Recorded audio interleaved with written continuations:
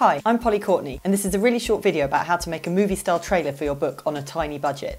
It's part of a series of videos about how to professionally self publish your book, which basically means doing what a traditional publisher would do, but doing it better. You don't need to make a book trailer, but for me it was a good way of portraying the world of feral youth in a visual, bite sized form.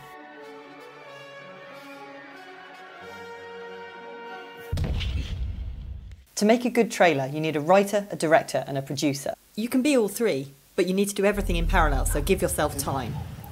First off, you'll need a script, so you know what characters and locations to plan for. I planned mine out visually based on scenes from the book.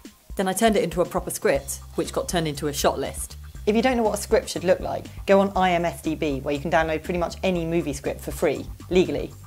As a producer, you need to find a cast, scout out locations, and pull together a crew. I used a local theatre to source a lot of my youth cast. For the adult roles, I posted ads on Casting Call Pro and Star Now. I arranged to hold the auditions in a room above a pub and brought along a special audition script. I filmed the auditions on my phone because it's really important to see how the actors look on screen.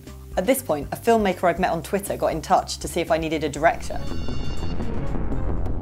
Yes, please. Once the cast was sorted, I needed to work out where to shoot the thing and who would shoot it. Together, we scouted a few locations and eventually found a derelict council estate to break into. Then my director started talking about classrooms full of students in school uniform. I rushed back onto Star Now and got myself 30 extras. Then I rang every venue in London that looked vaguely like a classroom that could be booked at a week's notice. Then I headed off to buy 30 school ties, a bunch of pencil cases, and a giant roll of greaseproof paper. By this point, I'd persuaded a friend to film the thing and another friend to be the production assistant.